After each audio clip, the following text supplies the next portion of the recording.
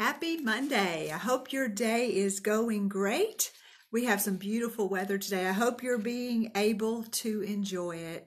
Before we begin, just a couple of quick announcements. Don't forget that our Family Promise hosting week is June 21st through 28th. We are only providing meals, but last time I checked, we are still needing several people to help provide those meals. So if you can help, you can sign up online using the information found in the Friday email and also the Monday email that went out today. Also, don't forget that this coming Sunday we will celebrate communion virtually. So to uh, you can go ahead and begin getting ready to participate, you and your family, by uh, gathering some bread or crackers, whatever you have, and some sort of juice. We will enjoy gathering at Christ's table this Sunday. And also, I know people are wondering when will Ebenezer reopen? When will we begin to meet face to face again? We are anxiously awaiting word from our bishop and expecting that any day now, perhaps even today. So, uh, in the meantime, we are working on a reopening plan. So, as soon as we have definite uh, definite word about when we will re-meet, re-meet again, when we will meet again in person, uh, we will let you know. And uh, we are all looking forward to that. And we will share that information as soon as we have it. Well, as you know, we have been focusing on a verse from Second Timothy, chapter 1, verse 7. This was written by the Apostle Paul to his young protege, Timothy. And since we've been talking in our devotions about people who have struggled with fear, I thought it would be interesting to talk about this young man, Timothy, who inspired this verse that we have been focusing on recently about how God does not give us a spirit of fear or timidity, but a power and love and self discipline. So, what exactly do we know about this young man, Timothy? First of all, we always, almost always, when we say his name, we say the word young, young Timothy, or the young man Timothy. We don't know exactly how much younger he was than Paul. I was reading this morning that some scholars think it could be as much as a 30 year age difference. So uh, we know that he was a lot younger than Paul. Also, we know for sure that his father was a Greek, was Greek. Uh, it is also assumed that he was an unbeliever. We don't exactly know that, but the way it's stated in scripture, it sort of implies that he was an unbeliever. We also know that his mother and his grandmother were Jewish women who had come to faith in Christ. So they were followers, they were Jewish Christians who had come to follow Christ. We first meet Timothy in Acts chapter 16. It tells us there that Paul met Timothy and his family in Lystra and that Timothy was well thought of by the Christians there. So that Paul, uh, I guess, was impressed with Timothy and wanted to take him along with him on his missionary journey. So we know that Timothy traveled with Paul. He worked alongside of Paul. He was mentored by Paul. He was even imprisoned with Paul. There were some, some letters that Paul wrote from prison that Timothy is there with him.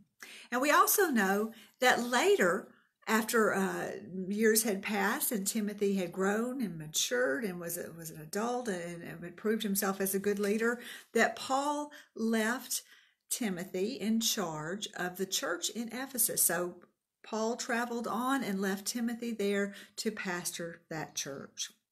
Well, in addition to these things that we know about Paul, or excuse me, not Paul, but Timothy, it's also hinted at in Scripture that Timothy had an issue with fear, with being timid, maybe a lack of self-confidence. And let me share some of those verses with you that, that seem to indicate that. The verse that we have been focusing on from 2 Timothy chapter 1, verse 7, why would Paul remind Timothy that God has not given us a spirit of fear if that was not an issue for Timothy? Also, in that same chapter, Paul wrote, I remind you to fan into flames the gift of God which is in you. So that seems to indicate that maybe Paul felt that Timothy had some sort of spiritual gift or something that he was not using to its fullest capacity. And then a, a verse or two later, in verse 8, Paul wrote, Do not be ashamed of the testimony about our Lord or of me, his prisoner. So again, it seems to indicate that Timothy might have been ashamed or that Paul felt that Timothy was ashamed of, of the, the good news of Christ or the fact that Paul was in prison.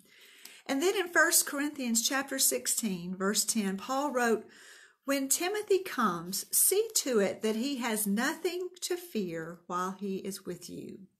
And then in verse 11, no one should treat him with contempt. So that's a very interesting verse. It's almost as if Paul is saying, Now, you know, Timothy, he's a little unsure of himself. So, uh, you know, you all be nice to him, you be kind to him, uh, take it easy on him.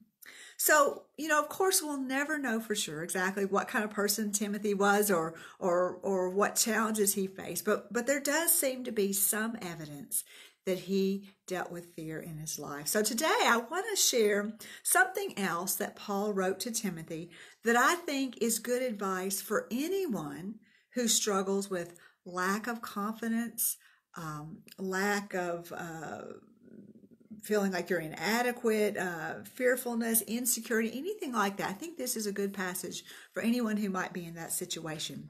This is in 1 Timothy chapter 4, verse 12.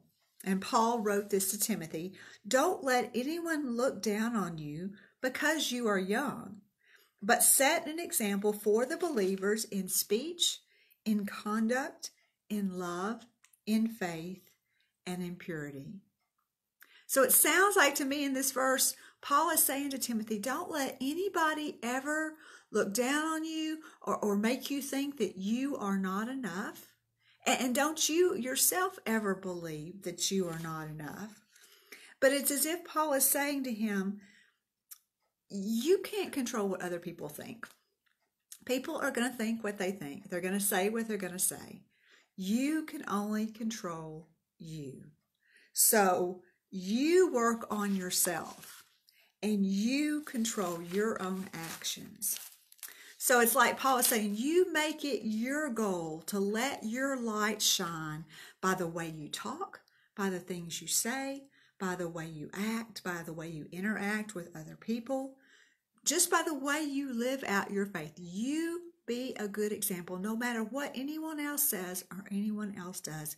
That's your job. That's what you need to work on. So I think these are good words to live by. It's, it's as if Paul is telling not just Timothy, but all of us, you be the best you that you can be by the grace of God. And don't worry about those things you can't control. Don't worry what other people say or what other people think.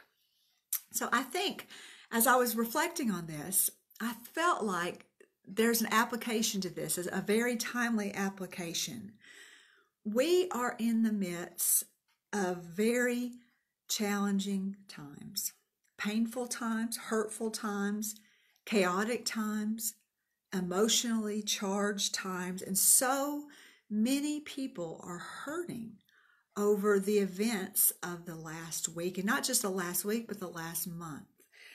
And I confess that when I hear and I read or or see it on the internet about acts of racism and violence and rioting, that my heart hurts. But also, I, I confess that I, I feel helpless. I think, what can I do? How can I make a difference? How can I be part of the solution rather than being part of the problem by just doing nothing?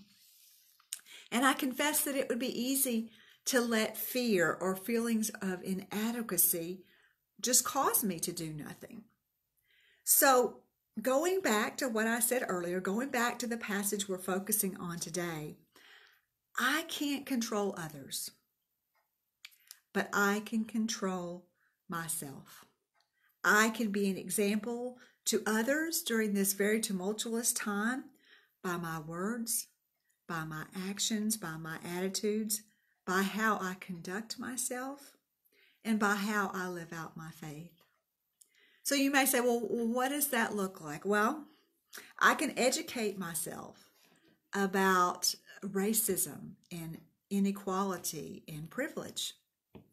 I can uh, support organizations that promote reconciliation and unity. I can talk with people whose life experience is very different than mine because of the color of their skin. And when I talk, I can, when I talk to them and ask them to talk to me and help me to understand their perspective, I can really listen so that I can understand a different perspective than my own. And I can um, ask God to show me where there is racism in me. And when God answers that prayer, I can humbly and honestly repent. So I can't control others, but I can control me. So that's what I, will, I want to work on, and I encourage you to do the same. Will you pray with me? O God of grace and God of glory, in these volatile times, help us to be light and life and love to those around us in all we do, in all we say. Through Jesus we pray. Amen. Well, goodbye, guys. Have a great day. Talk to you soon.